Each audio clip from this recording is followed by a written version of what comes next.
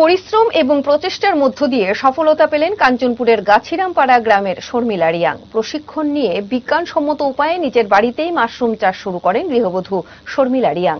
নিজের উদ্যোগেই তার এই প্রয়াস। মাশরুম চাষ করে তিনি আজ আর্থিকভাবে স্বনির্ভর হয়েছেন বলে জানিয়েছেন। গত আট ন মাস ধরে তার বাড়িতে উৎপাদিত এই মাশরুম বাজারে বিক্রি করে আর্থিকভাবে বেশ লাভবান হচ্ছেন তিনি। প্রতি কেজি দুশো টাকায় এই মাশরুম বিক্রি হয়। তবে বাড়িতে এসে কেউ মাশরুম কিনলে কেজি প্রতি তখন দাম পড়ে দুশো টাকা। আর্থিকভাবে সাফল্যের মুখ দেখতে পেয়ে দারুণ খুশি গৃহবধূ শর্মিলা রিয়াং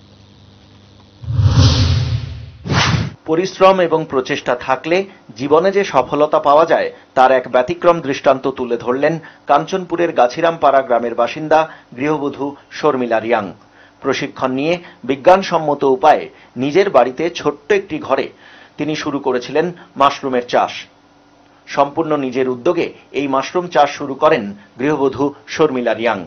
মাশরুমের চাষ করে আজ আর্থিকভাবে অনেকটাই স্বনির্ভর গৃহবধূ শর্মিলা রিয়াং বলে জানিয়েছেন তিনি। গত প্রায় এক বছর ধরে স্থানীয় বাজারে মাশরুম বিক্রি করে আসছেন তিনি।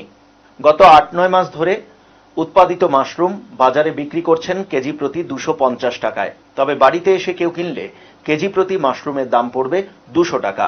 মাশরুম বিক্রি করে আর্থিকভাবে সাফল্যের মুখ দেখতে পেয়ে দারুণ খুশি গৃহবধূ শর্মিলা রিয়াং বলে জানান তিনি। ইমুখে শর্মিলা রিয়াং, আই পারাকে গসরাম পারা। খে বং মাশরুম চাষ খেমো খেবো, ব আইনি আই মাইমো খেবো। মাছের আঠারো হাজার খেমায়ো খেবো ফামো দাম খেবো। দুইশ রাও খে পাইকার খে রিপিও বাজার খেবো, আড়াইশ। বখেন তং নিজে নিজে বানাইমো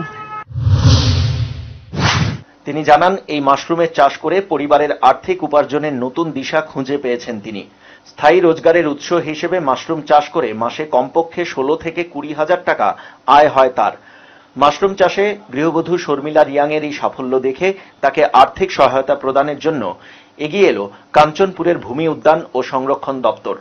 মাশরুম চাষে আরও প্রসার ঘটানোর জন্য ইতিমধ্যে কাঞ্চনপুর ভূমি উদ্যান ও সংরক্ষণ দপ্তরের মাধ্যমে গৃহবধূ শর্মিলা রিয়াংয়ের হাতে পঁচিশ হাজার টাকার আর্থিক সহায়তা প্রদান করা হয়েছে বলে জানিয়েছেন কাঞ্চনপুর ভূমি উদ্যান ও সংরক্ষণ দপ্তরের সুপারিনটেন্ডেন্ট চিল্কা মেসকা। কাঞ্চনপুর থেকে সুজিত বড়ুয়া রিপোর্ট, হেডলাইন্স ত্রিপুরা।